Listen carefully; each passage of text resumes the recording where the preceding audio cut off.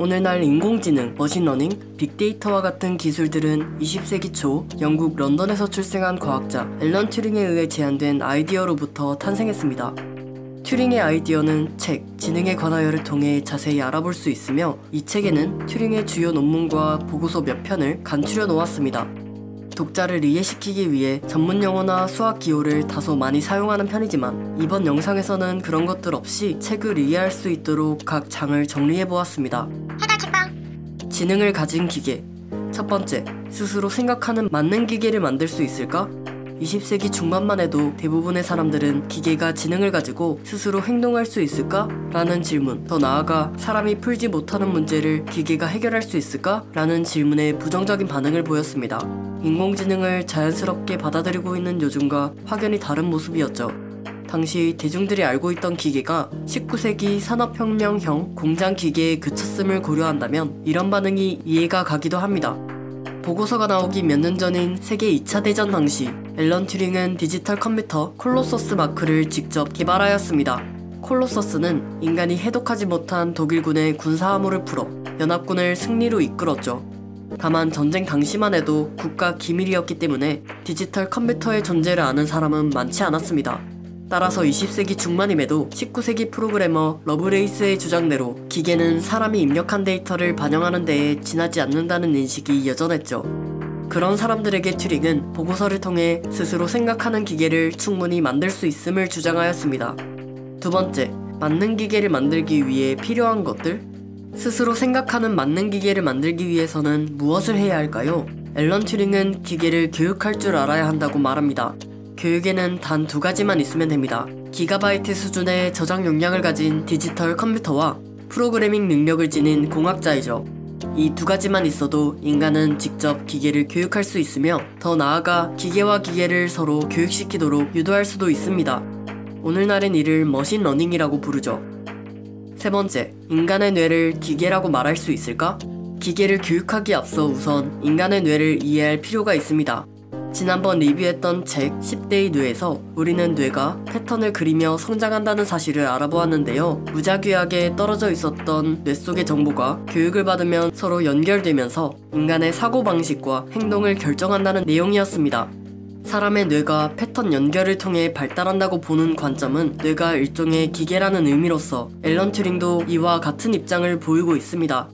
네 번째, 교육을 받은 기계가 할 수 있는 일. 앨런 튜링이 제시하는 교육을 거친 기계는 인간이 예측하지 못한 전혀 새로운 답변을 내놓을 가능성이 큽니다. 사람의 뇌가 찾지 못하는 정보를 탐색하여 새로운 결론을 도출할 수 있기 때문이죠. 앨런 튜링은 기계로 할 수 있는 흥미로운 탐색 세 가지를 언급했습니다. 첫 번째는 유전적 탐색, 두 번째는 진화적 탐색으로 생존에 유리한 유전자 조합을 찾는 것입니다. 세 번째는 문화적 탐색입니다. 인간은 20년간 직접 온갖 문화에 부딪혀야만 온전히 사고할 수 있는 반면 기계는 단 1분 혹은 1초 만에 익히고 사고할 수 있다는 장점이 있습니다. 계산 기계와 지능 첫 번째, 이미테이션 게임 기계가 사람을 속일 수 있을까? 이번 논문에는 이미테이션 게임이 등장합니다. 한글로는 흉내 게임이라고 부르는데요. 이 게임엔 답변자 둘과 질문자 한 명이 등장합니다. 세 명은 모두 격리된 방에 있는 상태이며 모든 대화는 전신 타자기로 진행합니다. 방과 방 사이엔 전달자가 있죠. 질문자는 참여자의 성별을 알아맞히기 위해 생김새나 취향에 관해 질문합니다. A는 자신의 성별을 질문자가 알아차리지 못하도록 유도하는 반면 B는 질문자가 답을 맞출 수 있도록 도와주는 역할을 합니다. 만약 A를 기계로 대체한다면 어떻게 될까요? 스스로 생각하고 답변하는 기계가 만들어진다면 기계는 질문자를 속이기 위해 자신을 여자 혹은 남자로 생각하게끔 유도할 것입니다. 질문자는 자신이 기계와 대화하고 있다는 사실조차 알아차리지 못할 것입니다.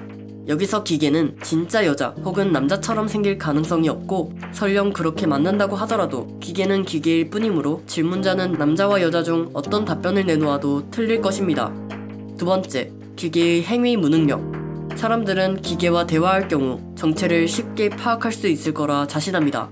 몇 가지 계산 문제를 던져주면 기계는 빠르고 정확하게 연산할 것이기 때문에 바로 구분해낼 수 있다고 말하죠. 그러나 튜링은 기계에도 행위 무능력이 존재한다고 주장합니다. 기계는 1초도 안 돼서 9자리가 넘는 두 숫자의 곱을 계산해낼 수는 있지만 사람처럼 머뭇거리다 대답함으로써 상대방을 속일 수 있죠. 지능을 가진 기계라는 이단적 이론. 우리는 기계가 인간의 일자리를 모조리 대체해버릴까봐 우려합니다. 그런 사람들에게 튜링은 오해를 풀라고 말하는데요. 기계가 내놓은 답이 어떤 의미가 있는 것인지 해석하는 능력이 점점 중요해지기 때문입니다. 기계가 인류를 통제하는 상황이 일어나길 원하지 않는다면 지금 우리가 무엇을 해석하고 행동해야 할 것인지에 관해 생각해 보아야 한다 말합니다. 튜링이 던진 화두에 관해서는 영상의 후반부에서 다뤄보겠습니다. 디지털 컴퓨터가 생각할 수 있을까? 이번 장은 저번에 리뷰한 책 호모데우스에서 다룬 적이 있었던 자유의지를 기계에 대입해봅니다. 앞서 튜링이 인간의 뇌를 일종의 기계로 간주했던 점 다들 기억하시죠?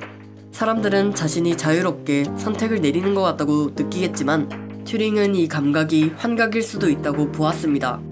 만약 인간에게 진짜 자유의지가 존재하더라도 행동만으로 자유의지가 있다는 속단을 할 수 없다고 말하죠. 그렇기에 사람처럼 행동하는 기계가 나온다고 하더라도 자유의지를 갖고 있다는 결론을 내릴 수는 없습니다. 그럼에도 튜링은 맞는 기계를 만들 땐 반드시 자유의지를 가진 것처럼 행동하게 교육해야 한다고 말합니다. 그가 말하는 교육이란 정확히 무엇일까요? 기계를 임의의 상황에 처하게 해서 답이 없는 문제라도 직접 헤쳐나갈 수 있도록 프로그래밍하는 것을 의미합니다. 교육을 받은 기계는 씨앗이 발아하여 새싹을 틔우듯 자연스럽게 행동하게 될 것입니다. 스스로 생각하는 기계가 나오려면 천년은 더 넘게 걸릴 것이라 예측했던 튜링의 아이디어는 알파고의 등장으로 이제 막 싹을 틔웠습니다. 수백만 년이 지나면 기계가 인간을 지배하는 상황이 발생할지도 모르지만 지금 당장은 우리 스스로의 존재 자체를 돌아볼 수 있다는 점에서 긍정적으로 생각할 필요가 있다고 튜링은 말합니다.